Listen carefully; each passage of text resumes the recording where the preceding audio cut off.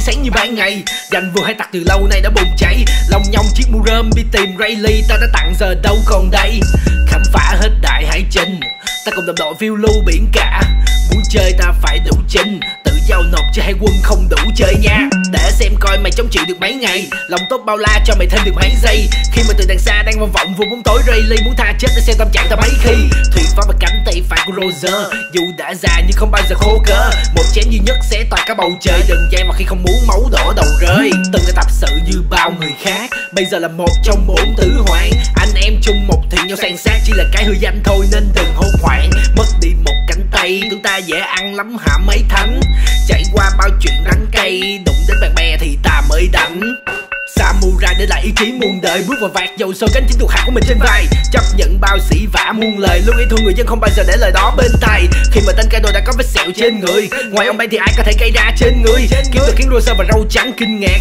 Dù lần này có chết khuôn mặt ta vẫn luôn mỉm cười. Tên hệ bất kỳ, Giữ thể diện cho ta chút đi.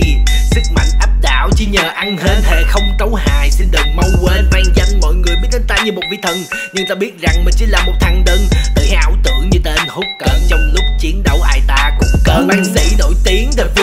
Không thể chữa khỏi căn bệnh. Nan y ba năm trên tàu Ông không bỏ mặt Goldie Roger trước khi ra đi. Khả năng không phải hạng soàn Sự vượt biển lớn gặp ông cũng toan Về sống cuộc đời bình yên. Chăm sóc la buôn là điều trước tiên.